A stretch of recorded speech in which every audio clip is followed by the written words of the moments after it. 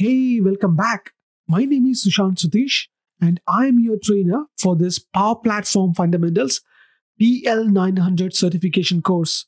In this video, we're going to have a quick knowledge check on the things what we have learned on Module 2. So without wasting any more time, let's get into it.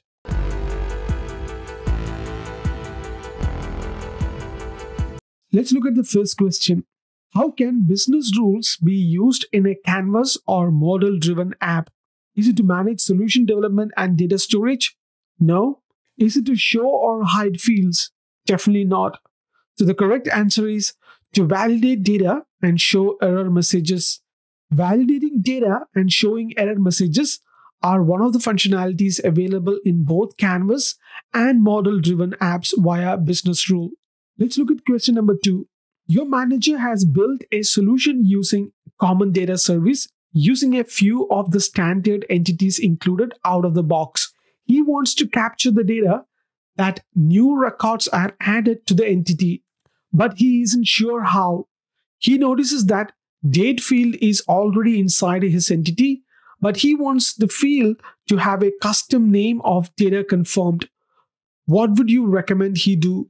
Can he create a new entity with the name called date confirmed? No, that doesn't work. Or can he create a new environment with the name date confirmed? Absolutely not. So the correct answer is use the built-in date field within the entity to store the date values, but rename the field to date confirmed. So whenever possible, if an entity has an existing field in the type you need, reuse that field before creating a new one. Let's look at question number three. One of your co-workers has set up a model-driven application using the common data service. The app captures information about computer hardware assets, including their price.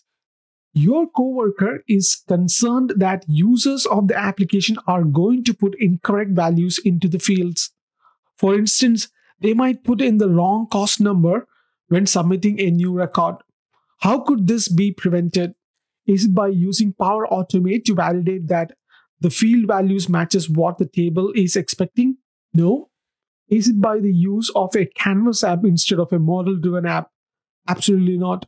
So the correct answer is use business rules to automatically validate the cost center for the currently logged in user because business rules can be used to validate field data on a form. Alright, so that concludes module 3.